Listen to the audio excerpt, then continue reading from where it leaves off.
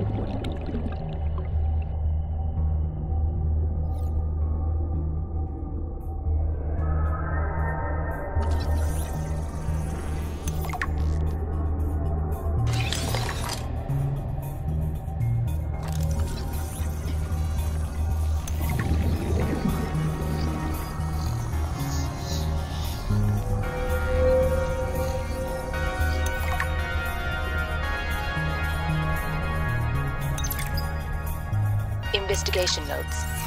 Omega Lab was first breached by heavy impact, perhaps from a sea truck modified with some sort of battering implement. A localized explosive charge was then released and detonated from a distance. Lab equipment was damaged to the point of inoperability, and all live specimens were destroyed. No personnel was injured. Samples have been collected for analysis to determine whether any bacteria escaped. It is, however, unlikely. The heat of the charge should have boiled everything within a 10 meter radius.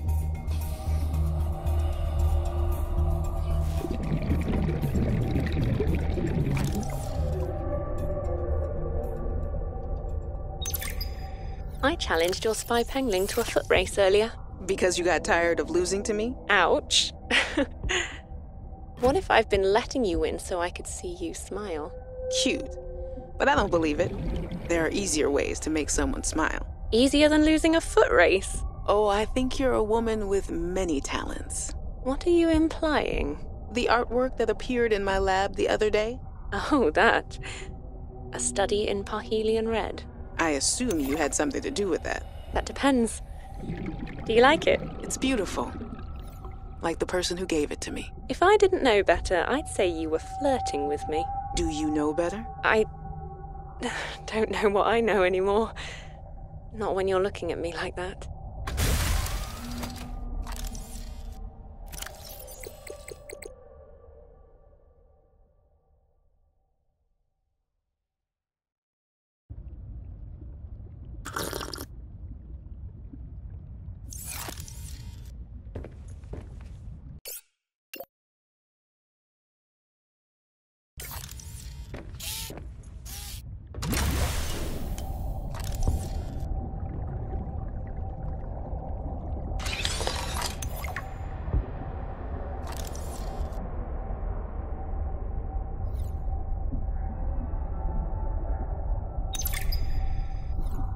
We've studied the first Kharaa bacteria samples from the specimen. Results are promising.